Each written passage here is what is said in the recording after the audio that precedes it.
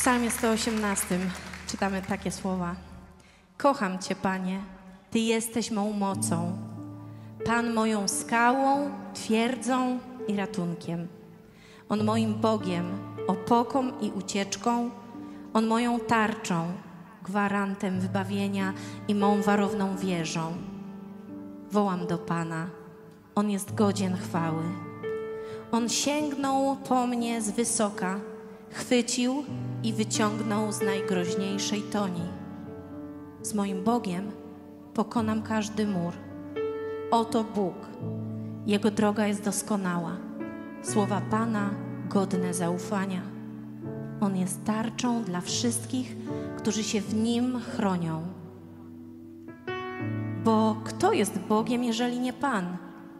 Kto jest opoką, jeśli nie nasz